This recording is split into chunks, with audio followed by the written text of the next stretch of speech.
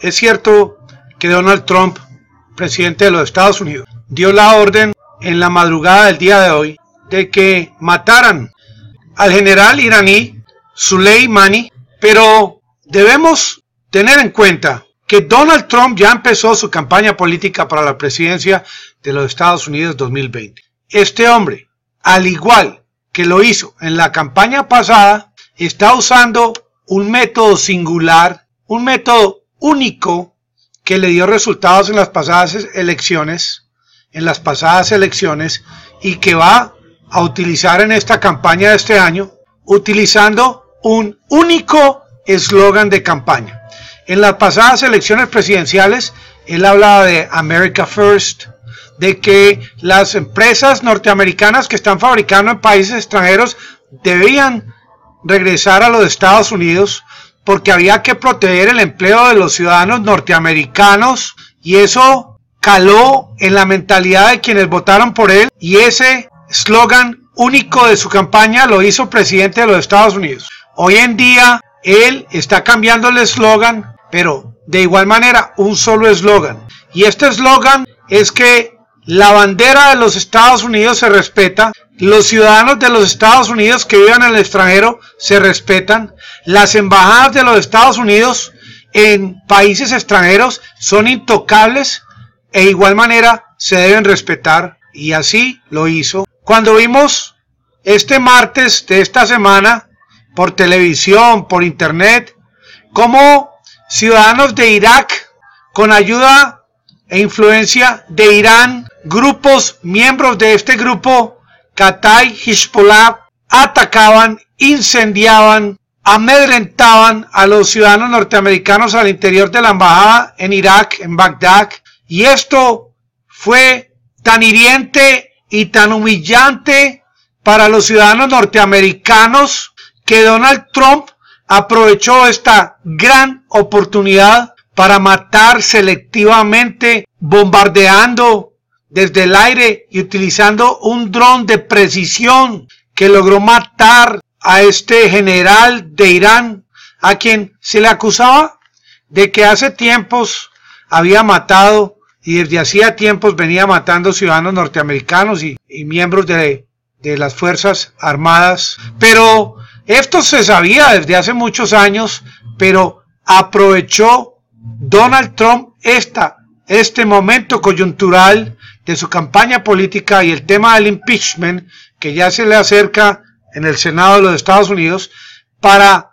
selectivamente matar a este hombre tan poderoso en Irán, este hombre tan venerado por los ciudadanos de Irán, tan del apoyo y el gusto de, del ayatollah Ali Khamenei, quien en el día de hoy se dirigió al pueblo de Irán pidiendo venganza, asegurando que próximamente se van a vengar y obviamente van a matar norteamericanos y destruir bases norteamericanas y usar el tema del terrorismo que históricamente lo han hecho desde Irán, atacando, pidiendo venganza y asegurándole a su pueblo que esto no se iba a quedar de este tamaño. Porque Donald Trump, sin pedir permiso al Congreso de los Estados Unidos, atacó selectivamente a este general de este grupo élite Quds, este general miembro de este cuerpo revolucionario iraní, de esta guardia revolucionaria de Irán, que hace días vienen actuando, buscando la forma de atacar bases militares de Estados Unidos en Irak y tienen en la lista estos miembros de esta guardia revolucionaria de Irán, blancos militares de intereses norteamericanos y bases norteamericanas. Y es así como Donald Trump le dijo al pueblo, hombre, señores norteamericanos, señores y señoras, este ataque se hizo sin consultar al Congreso por información de inteligencia de los Estados Unidos. Decía que esto había que hacerlo. Obviamente, como presidente de los Estados Unidos, no puedo explicarles exactamente los detalles, pero este general tenía planeado matar ciudadanos norteamericanos diplomáticos y miembros de las Fuerzas Armadas. Punto aparte. Es por eso que ahora estos comentarios de congresistas que dicen que él debió haber consultado al Congreso, comentarios irrelevantes, puesto que él puede demostrar que era de fuerza mayor necesario este ataque. Pero todo se resume en el cuento de la campaña política que Donald Trump ya empezó. Por encima del famoso tema del impeachment, el tema de la destitución, que obviamente en el Senado de mayoría republicana no van a poder hacer nada contra él, pero cansado ya de estos rallies de 2, 3, 5 mil personas que él hace consecutivamente en varios estados de los Estados Unidos, ya se está lanzando este hombre, Donald Trump, a hacer estos rallies a nivel mundial. Ustedes se imaginan en este momento cuántos ciudadanos en todo el mundo de más de 7 billones de habitantes están preguntando por qué fue el ataque, cómo lo hizo Donald Trump, por qué lo hizo, qué va a pasar ahora con los ciudadanos norteamericanos en el Medio Oriente, qué va a pasar en los Estados Unidos. Y esto tiene a Donald Trump en la mente de millones y millones de habitantes de todo el mundo, como ningún otro político lo ha hecho. Y él, él se lo dice al mundo, es que es muy sencillo ser presidente de un país con un eslogan único, America First. El eslogan de esta campaña es, nadie en el mundo va a volver a pisotear o a quemar una bandera de los Estados Unidos sin que haya represalias. Miren, lo hay montado en este tren. Ese es el mensaje que le está lanzando a esos seguidores que votaron por él, que están en este momento gritando, aullando porque aman y quieren a Donald Trump. Y esto que ocurrió en el día de hoy, que viene ya desde hace muchos años. Yo me acuerdo en el 80 cuando estaba en West Point, allá llegaron estos rehenes de Irán al hotel, allá el, hotel que hay en West Point, a hospedarse, llegando recién llegados de Irán. Es que el tema de la confrontación entre Teherán y Washington lleva muchas décadas. El tema de la salida de Donald Trump de este acuerdo nuclear con Irán y estas sanciones que impuso sobre Irán, obviamente han suscitado que este cuerpo esta Guardia Revolucionaria de Irán haya hecho planes para desestabilizar y atacar intereses norteamericanos en el Medio Oriente y obviamente Israel está muy pendiente de todos estos sucesos porque está muy cerca a Irán y no quiere ser atacado y Estados Unidos aliado de Israel tiene que estar muy pendiente también de todo lo que ocurre en el Medio Oriente. Pero Donald Trump al haberse lanzado en este ataque inesperado simplemente le está demostrando al pueblo americano cómo la inteligencia militar de Estados Unidos ha ido cambiando y ahora el tema de ser expertos en el tema de la guerra cibernética es lo que está de moda en este momento. Ustedes imaginan la cantidad de espías norteamericanos que hay en el Medio Oriente y en todo el mundo, porque con toda seguridad cada miembro de este cuerpo Guardia Revolucionaria de Irán está en la mira, en el radar estos espías norteamericanos que hacen seguimiento a cada movimiento que hagan estos funcionarios. Y ahora Donald Trump no está interesado en atacar regiones o pueblos de Irán donde van a haber muertes de inocentes, de población civil. Con toda seguridad, lo que está de moda en este momento y lo que va a imponer Donald Trump son esos ataques selectivos a cada uno de estos miembros de esta Guardia Revolucionaria de Irán que tanto mal piensan o han hecho a los ciudadanos norteamericanos y a las Fuerzas Armadas. Porque Donald Trump ahí parado en ese tren se hace matar por defender cada soldado de los Estados Unidos, cada bandera que se fabrique en el exterior y que vaya a ser quemada, Donald Trump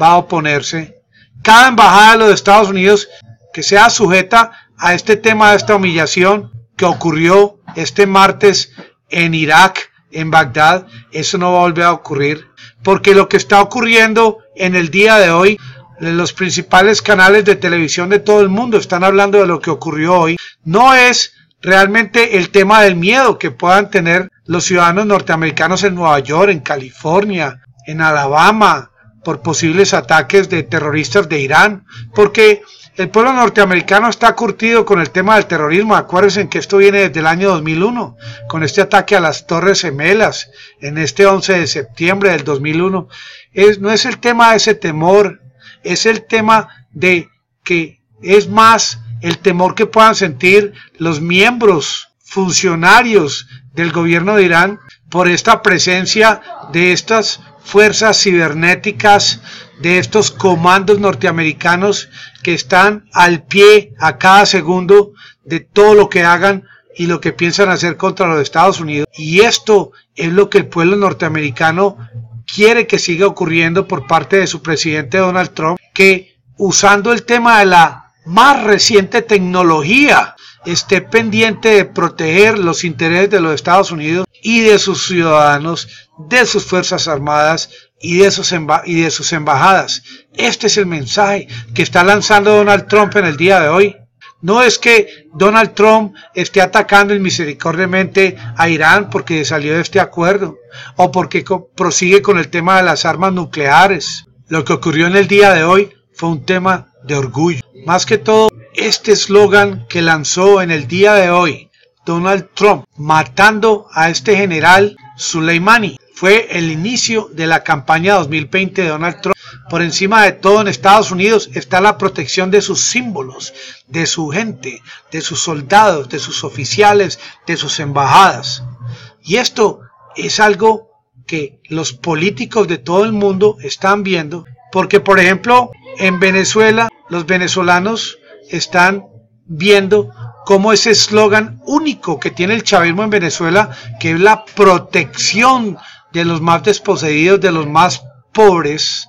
es lo que ha sostenido el chavismo en Venezuela, mientras que aquí en Colombia salen a hacer una marcha, 10 mil, 20 mil personas, con 20 mil eslogans diferentes de campaña o de protesta, que las pensiones, que el salario mínimo, que la educación. Aprendámosle a este hombre que es un genio en el tema de la política, de las conciliaciones, de las negociaciones por este canal próximamente, acercándonos a la verdad. Tenga una feliz noche.